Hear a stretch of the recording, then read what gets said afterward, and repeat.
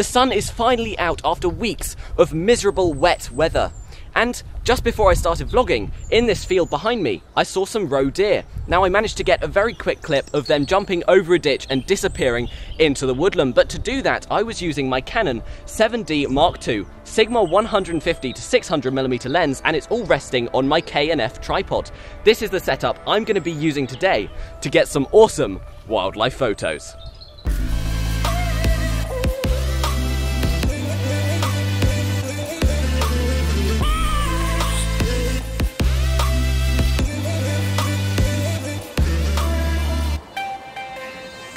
When I say we've been having bad weather, I think this tree just about sums it up.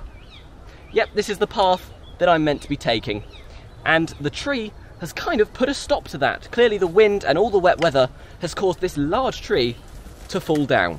So I'm going to have to go back the way we came and we're not going to be going down that path today.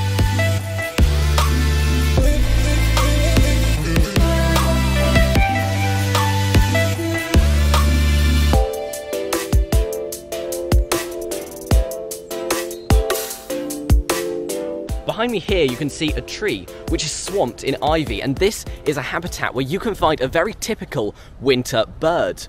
You get thrushes, redwings, missel thrushes, you get all these kind of thrush type birds, even blackbirds, which go on these trees and eat the ivy berries. It's a magnet for them during the winter. And so I've set up my camera pointing at the tree and we have got some photos of a redwing so far. I'm just hanging around seeing if anything else will come. Now when it comes to positioning, how I've done it is I am on the same side as the sun. You see the sun is behind me and that means that the sun is hitting the tree and that's kind of acting as my key light. It is at a slight angle because that gives me a bit of contrast because I'll have a slight shadow on the other side of the bird, but I will still get a nicely lit bird so it's not a silhouette. Now, when you've got time to think about your positioning, it's very important you do that because it does mean you'll get better wildlife photos. They'll look planned, they'll look better, you'll get better lighting, you use a lower shutter speed, lower ISO so the images themselves will come out better. It's definitely worth thinking about the composition almost as if you're in a studio. Why do I feel like I just saw a kingfisher over there? Okay. Quick change of subject. No, it's not a kingfisher. Now, the reason I'm jumpy about kingfishers is because last time I was out here, boy, we saw a lot of kingfishers.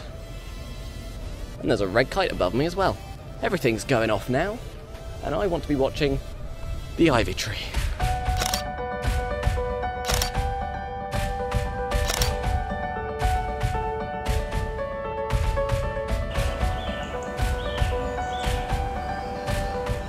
And we just found a great tit. It was flying around in the trees, but we came across a problem that many wildlife, in fact every wildlife photographer, will come across when photographing birds. When the bird is high up in the tree, sometimes it'll be against a clear sky, and if the background is a clear sky, then the camera is automatically going to underexpose the image. This is because the camera automatically exposes for the background thinking it's a brighter composition than it is. Now to combat this, I had to manually raise the ISO, but I didn't want to go too high so that the background was totally white, because if the background's totally white, you can't really redeem it in post-processing. Ultimately, here are the images I got. After brightening up the bird, I hope they look okay. If not, then it was just a good experience to take the photos and see the great tit.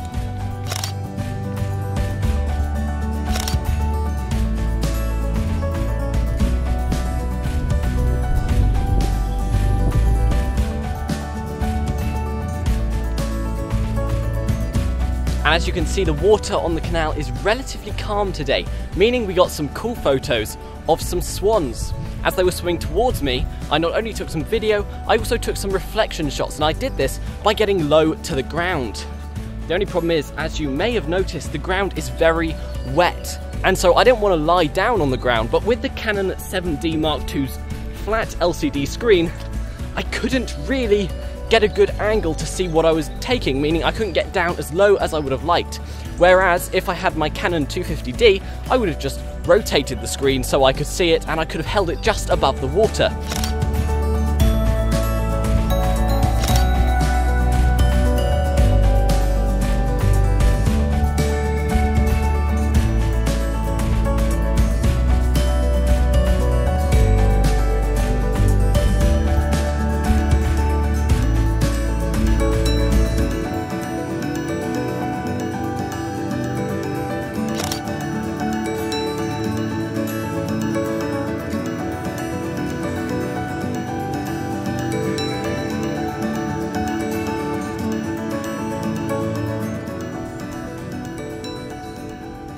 Know if you can see this right here and this.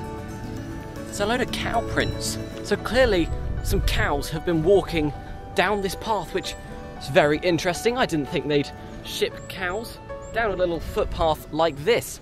Either way, in the sky just a second ago, we saw a buzzard. It was circling, it just popped out from behind the trees as I was trying to photograph a moorhen. And then, oh, it's really muddy. And then once it came out from the trees, we got some beautiful photos. Now, once again, I was positioned facing this way. The sun was behind me, illuminating the bottom of the bird, meaning that the bottom of the bird was beautifully lit up. So we have lots of awesome details, and it's not just a silhouette of the bird. Very happy with these photos. Some of the times when it kind of arced its body round, its legs were just like dangling, which I haven't actually seen before. And so they were some cool photos to get. It just gives a different perspective on the buzzard.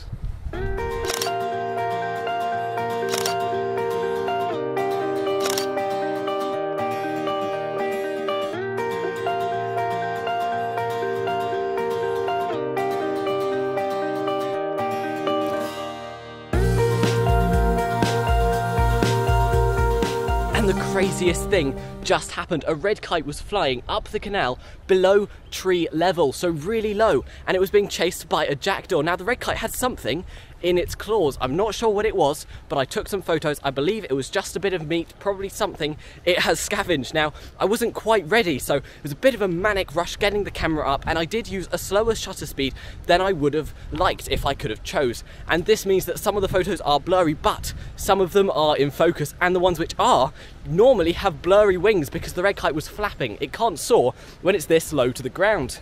The red kite then went a bit higher. I upped the shutter speed. We got some more awesome photos before it dropped whatever it was scavenging into the canal. Now it was just doing kind of somersaults in the sky and dropped what it was holding, plopped into the water, and I don't know why it did that, whether it intended to or not. Either way, we got some awesome photos, and here they are.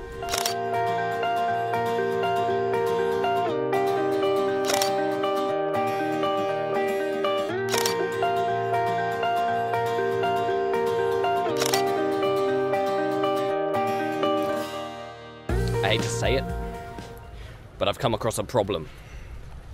And the problem is that.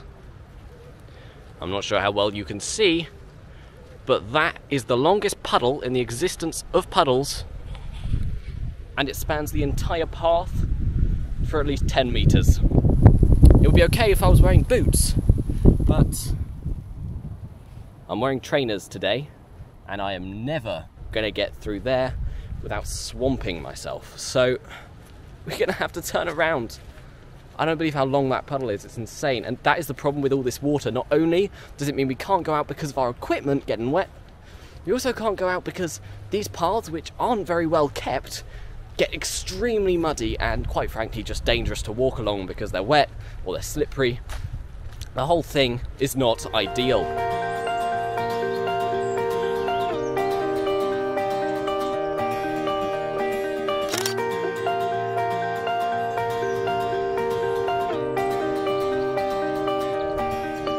And after that incredibly long walk, we're done. I hope you enjoyed, and I will see you in the next one.